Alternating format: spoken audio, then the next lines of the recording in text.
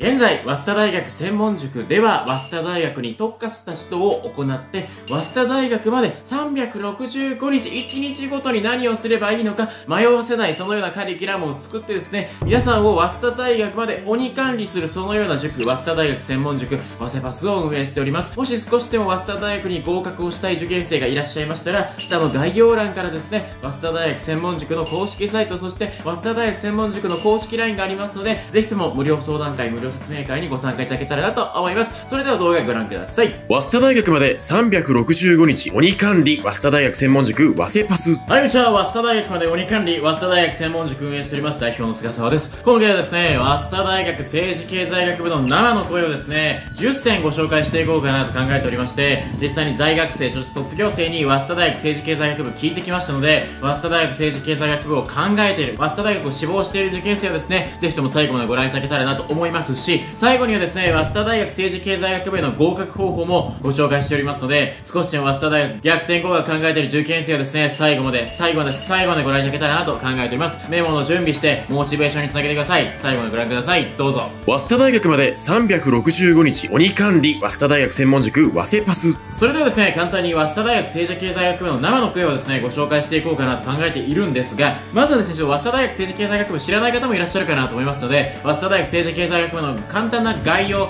特徴ですね、ご紹介させていただいて、どういう学部なのかを確認して後に生の声をご紹介していこうかなと思います。少しでも早稲田大学政治経済学部知ってるよって方はですね、スルーで結構なので飛ばしていただいて問題ないです。早稲田大学まで365日鬼管理、早稲田大学専門塾、早稲パス。それではですね、簡単に早稲田大学政治経済学部の学科からお話ししていきます。こんな感じです。ドンというところで、政治学科、経済学科、国際政治経済学科、この3つの学科があるわけですね。政治学科からご紹介していきます。こんな感じです。ドンというところでですね、画面止めてみてもらえたらなと思いますけれども、政治を中心にバランスよく他のね、学問領域を学ぶというところですね。具体的には現代政治、比較政治、国際関係、公共政策、政治思想、政治者の学んでいくというところですね。かなり偏差値が高いというところですね。この多分偏差値データはベネッセから取ってきてるのでかなり高いかなと思いますけども、まあ偏差値70前後を見てもらえれば問題ないかなと思います。続いて経済学こんな感じ、ドンというところで画面止めてみてもらえたらなと思いますね。具体的にはマクロ経済学、ミクロ経済学、統計学、経済理論、経済思想、経済史、経済政策、実証分析、国際経済、金融などを学ぶことができる、そういう学科だとイメージがあればいいかなと思います。要はまあ経済を中心に据えた学科であるとイメージがあればいいかなと思いますね。こちらも偏差値高いですが、先ほどと同様、ベネッセの数字を取ってきてるのかなと思いますね。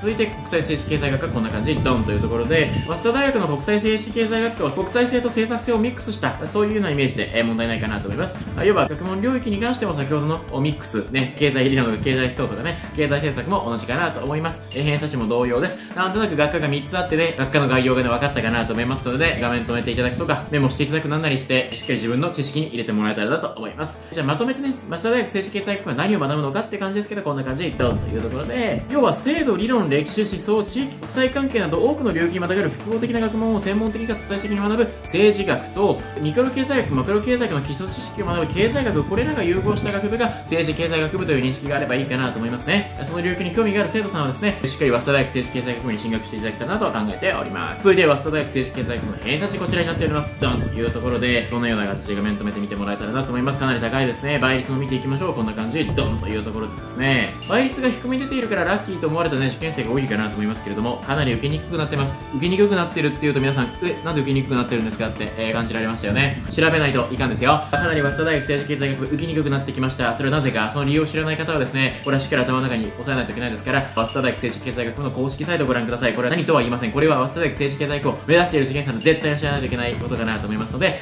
かり調べて自分の何か入試手帳とか何かメモしてもらえたらなと思いますね。早稲田大学まで365日鬼管理、早稲田大学専門塾、早稲パス。でそれでは早稲田大学政治経済学の生の声を1人目ご紹介させていただこうかなと考えております。それでは1人目の満足してることこんな感じ。ドンというところでね、大学の施設が最高だよというところで、一応いろいろと見ていこうかなと思います生の声ね、えー、こちらに載せておきます。画面止めて見てもらえたらなと思いますけれども、教室内の設備がすごくいいんです。例えば、各座席にはコンセントが設置されているので、スマホやパソコンのバッテリーが切れる心配がありませんというところですね。しかも、コンビニエンスストアもあったりして、とかね、勉強場所にも困らないよというところでね、かなりね、環境が整っているということが分かったかなと思いますね。はい。続いて、早稲田大学政治経済学部、万に感じることこんな感じ、ドンというところで、人混みストレスというところで、かなり長蛇の列、待ち時間のストレスがあるよというところですね。特に例えばですけど、新学期の教科書販売や健康診断の際、多くの学生が一斉に集まるため、待ち時間かなり長くなってしまいます。このような時にはスタッフや教員も手一杯で、えオペレーションが追いついてないように見えることが多いですと書かれていますね。ということを考えた時に、学生数が多くてたくさん刺激があるんだけれども、その分ね、何か犠牲になることが多いよというところですね。プラスとマイナスが実際に存在するというところですので、画面止めてみてもらえたらなと思いますし、一応ですね、今、早稲田大学のいいところ、悪いところ、ご紹介させていただいておりますが、もしこの動画をですね、早稲田大学政治経済学部に通う在学生とか卒業生が見ていただらですね、もっと何か教えてもらえたらなと思います。この動画ではカバーしきれてない情報もあるかなと思いますので、コメント欄で早稲田大学政治経済学部を目指している受験生に対してね、何かサポートしてもらえたら僕としてはすごい嬉しいなと思っておりますので、ご協力いただけたらすごい嬉しいなと思います。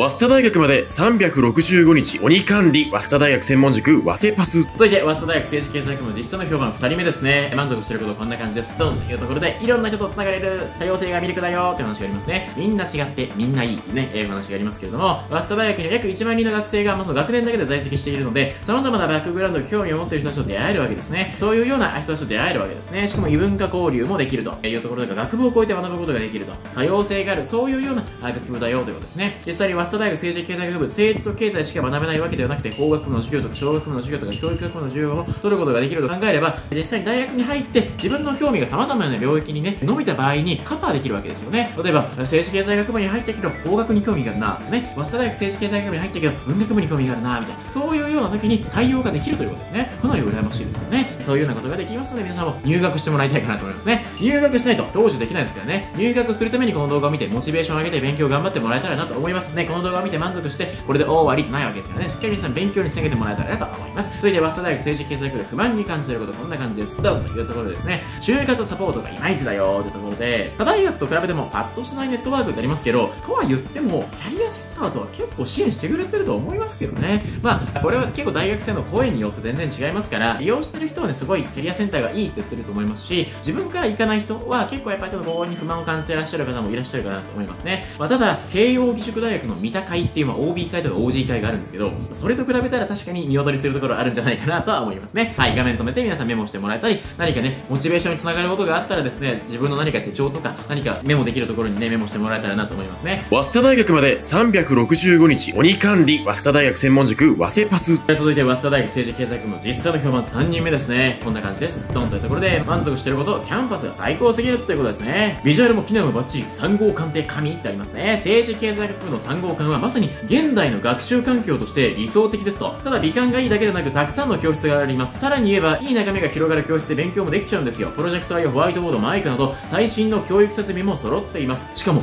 トイレまでがラグジュアリーということでね高級感があるわけですね。この点は特に女子学生には嬉しいかもしれません。トイレにはウォシュレットがついているだけじゃなく化粧直しスペースまで完備されています。これってかなりレベルが高いと思いませんか？しかも図書館も選べる贅沢なんです。中央図書館は蔵書が多くて驚くほど充実していますがちょっと遠いんですよね。でも大丈夫。3号館の地下には学部専用の図書館があります。個々のブースが設置されていてしかもコンセプトもあるから集中して勉強するのにぴったりなんですよねって書いてありますね。めちゃめちゃいいですね。しかもジムでリフレッシュもできる。もう何ですか？大学じゃないんじゃないですか？どっかのホテルですか？みたいなねそんなお話があるかなと思いますけれども運動をすることでストレスも解消できちゃうと。ね健康的なライフスタイルね学生生活が送れるわけですね。なんかもう全然僕の理想としている僕のイメージするなんか大学生活じゃない感じがしますけれどもね羨ましいなというその一言につきますでね。これ多分ね皆さんのモチベーションにつながるんじゃないかなと思いますから画面止めてみてですとかいつでもこの動画見返していただけるようにですね高評価をしていただくとかね共有ボタンを押していただいてリンクコピーしていただいてね何かメモスペースにコピペしておいてですねいつでも見返せるようにしてもらえたらなと思いますね。すごいいいですね。羨ましいですね。それで不満に関することこんな感じドンというところで課題が多すぎるというところでですね。まあ先ほどねめちゃめちゃ高級感のあるみたいなお話がありましたけど課題が山積み余裕はゼロって書いてありますね。他の大学と比べてもうちの大学との課題の多さは異常です。小テストやレポートプロジェクトなど絶えず何かしらの課題が出せれます。特に複数の科目で課題が同時に出せると本当に大変ですって書いてありますね。フレンドシップが試される。しかも多くの課題があるとそれを乗り越えるためには友達と協力する必要があります。だから社交性も試されるんです。これはある種プレッシャーですよねって書いてありますね。なかなか週末の勉強ですと。遊びたいけどなかなか難しいね。確かに学べることも多いけれども何かねインターンやりたいとか留学したいって考えると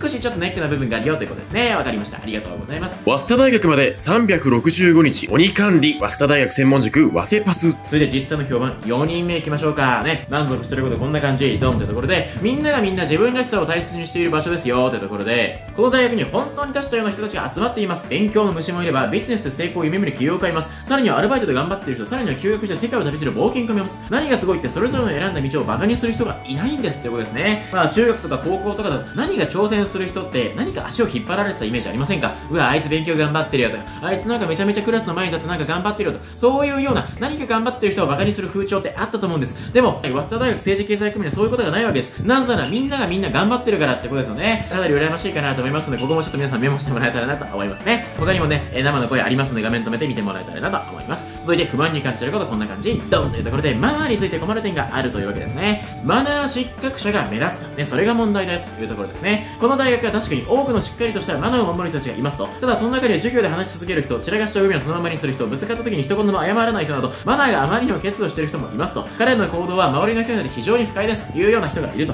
いうところですけれどもこれはですね日本中ね探せばやっぱマナーがねいい人もいれば悪い人もいますけれどもでもよくよく考えてみればマナーが悪い人って一部しかいないと思うんです。でも早稲田大学って学年にね1万人もいて全学年合わせると4万人もいるわけですよね。ということを考えた時に4万人もいればね100人200人マナーが悪い人いるんじゃないかっていう話なので要は学生数が多いがゆえに割合は少ないんだけれども母数が多いっていうのはそういう話かなと思いますのでまあそこまで気にしなくていいかなと思いますけれどもそういうマナーが悪い人とは距離を置くっていう選択が4万人もいればできますのでそんなに気にしなくていいかなと思いますね。早稲田大学まで365日鬼管理早稲田大学専門塾早稲パス。という形で続いて早稲田大学政治経済学実際の評判5人目ご紹介させていただきます。満足してることはこんな感じドンというところでですね夢の留学手に入ることね。初めての留学でも安心です。私が早稲田大学を選んだ理由の一つはその充実した留学プログラムですと。最初は大学が提供している留学プランなんで利用しなくても大丈夫と考えていたんですよ。しかし調査をしてみると個人で留学を計画すると結局はそれほど知名度のない語学学校にしか行けないことが分かりました。でも早稲田大学は有名な大学と提携を組んでいると学びたいと思った場所で質の高い教育を受けることができるわけなのでこの制度を利用して留学をしてオーストラリアに3週間留学されたわけですねこの学生さんはですね。めちゃめちゃ留学先で人脈作りもできるしいい大学にも行けるということで羨ましい留学制度がね、えー、あるわけですね。めちゃめちゃいいですね。留学したい学生にとってはめちゃめちゃいいかなと思いました特に早稲田大学政治経済学部とか国際教養大学はですね留学制度が整っているかなと思いますのでその制度を思う存分利用していただいて留学をね頑張ってもらえたらなと思いますよね。続いて不満に感じることこんな感じ。ドンというところですね。ちょっと問題がある一面というところですけれども実際に早稲田大学には未来を見据えて努力を惜しまない学生がたくさんいると、ね、熱心な学生が多いよってところなんですけれどもしかしその一方で早稲田に入学したからもう成功だと思っているかのようなちょっと問題のある学生も確かに存在しますと。これらの学生は授業にほとんど出席しないばかりがもし出席したとしても授業中にスマホを入れてたりあまり真剣に勉強してないように見えますと書いてますね。社会ルールを守れない学生もいらっしゃるというところで、まあ、少しその早稲田大学に入ってそれがもうピークだったっていう学生も結構多いんですよね、まあ、そういう学生に限って就活失敗しちゃったりとか昔の栄光をねすごいすがっているというか早稲田大学に合格してそこで終わりになっちゃってる受験生が多かったりしますのでぜひそうならないようにですね早稲田大学に入学してそこからですからね。別にその早稲田大学に合格したから